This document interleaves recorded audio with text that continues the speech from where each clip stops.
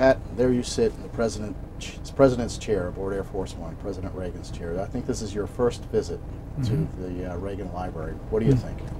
Well, I think I used to sit over there on the chairs talking to him, and he had invited us up to his cabin.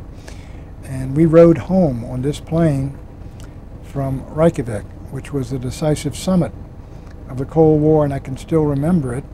See, sitting on the plane like this, I can still remember it, how angry he had been at the results, and how we, the staff was sitting back there, and how after the plane was in the air a little bit, we were coming home. It was late at night. The the summit had gone over, and Gorbachev had tried to bull the president, and the president pounded the table and got up and said, "I'm going home," and he wouldn't give in. How he came back with a totally changed mood. He was friendly, smiling, and telling stories. And here was the greatest summit, I think one of the greatest summits of the Cold War, and I think the decisive summit of the Cold War, where Ronald Reagan basically persuaded the Soviets that America under Ronald Reagan could not be broken and could not be beaten. And I think Gorbachev went home feeling that. And Reagan was coming home, and a lot of people were down about the summit having collapsed, as it were. And he's back there telling me Hollywood stories.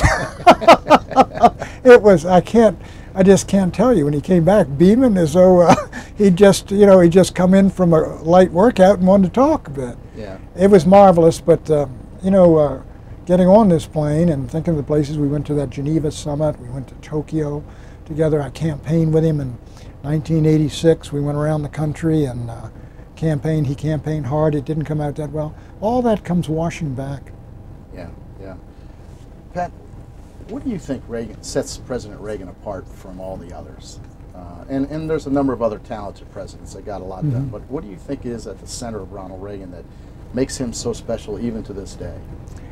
I think uh, I think character is destiny first, and I think Ronald Reagan was a man of, of convictions and beliefs, and they happened to be correct. And secondly, I think he was a, a man who assessed the problems of his particular time when the country was in was in a downer and the hostages were being held and and the economy was in terrible shape and he sensed what the American people needed and what they needed was a leader that brought to the table exactly what he did that optimism that conviction that, come on, this isn't America, let's get up and we can do this together. And he, en he enhanced the country's spirit. He rebuilt its military, his economic ideas, whatever you thought of them, they worked. And, and he challenged the Soviet Union. Uh, and he was, not, he was not what a lot of people think, that he was a bellicose warmonger type. That was utterly wrong. Here's a president who came in calling the Soviet Empire an evil empire and left it with Russians patting him on the back as he walked through Red Square arm in arm with Mikhail Gorbachev.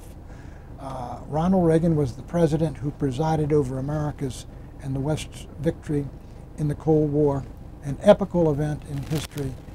And clearly, I think even his critics have to agree that Ronald Reagan was an astonishingly successful president and really one of the greats in American history.